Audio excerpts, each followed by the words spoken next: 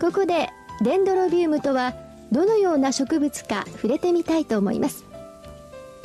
タイ北部の山岳地帯には数多くのデンドロビウムが自生しています。伸びる系デンドロビウムは海抜1500メートルから2000メートルくらいの高齢地に自生しています。樹木の枝や枯れ木にでも着生しているデンドロビウムは寒気には時折発生する霧以外にはほとんど水分が得られません。この高齢地では冬には夜間0度近くまで気温が下がることもあります。このような環境のもとにあってもデンドロビウムは傷んだり枯れたりすることはありません。デンドロビウムは乾燥にも強くまた低温にも強い大変丈夫な植物なのです。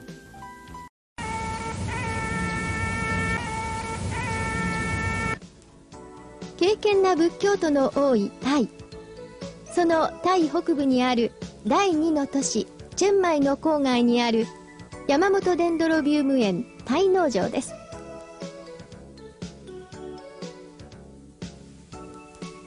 この農場ではバイオテクノロジーによるメリクロン苗生産が行われています。農場というよりむしろバイオ工場といった方がふさわしいかもしれません。ここでは現在年間150万本のメリクロン苗が生産されており EU 諸国をはじめハワイ農場などに出荷されています。最近山本デンドロビウムに対する各国からの注文が急増しておりさらなる増産が求められるようになっています。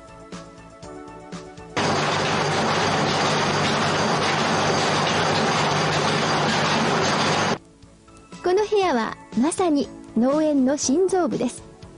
この部屋では日本から運ばれてきた新品種のプロトコームをさらにシェーカーを続け大量増殖させるのです。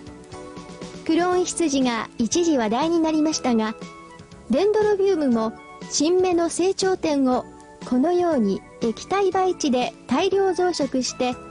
親と全く同じ性質を持つクローン植物を作るのです。プロトコームより発芽した無菌苗はさらに別のフラスコに移植して生育させます。これらの全ての作業は無菌的に行われますので高度の技術が求められます。この部屋は常時25度 C に保たれ人工照明によって大量のフラスコ苗が育てられています。この瓶の中には寒天培地が入っており無菌苗が各20本ずつ整然と植えられています。植えられた苗は無菌状態の中ですくすくと育ち3ヶ月もすると出荷できる大きさに育ちます。屋外の棚にも出荷間際のフラスコ苗が大量に並べられ出番を待っています。一部にはフラスコから出された苗が栽培されています。デンドロビウムのふるさとで恵まれた環境の中で丈夫にすくすく育っています。この苗は大きくなると日本にも送られて。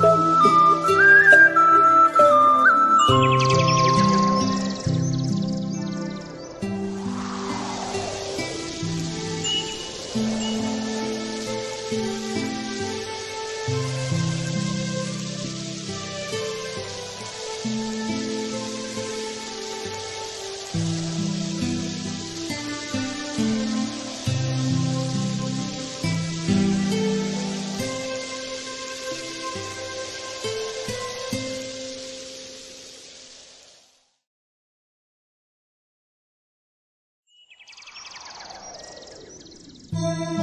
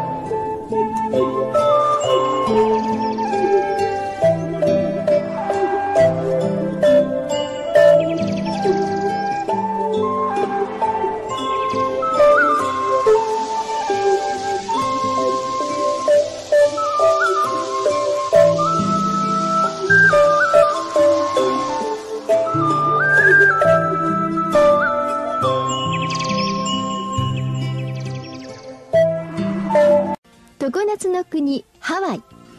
ホノルルから約50分。ハワイ島広志郊外にある山本デンドロビウム園ハワイ農場です。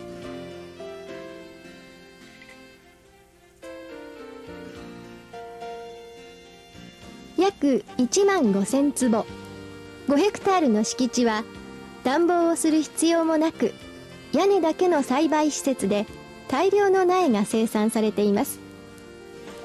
ここで生産された苗はアメリカ本土はもちろんのこと。EU 諸国をはじめ世界各国に輸出されています。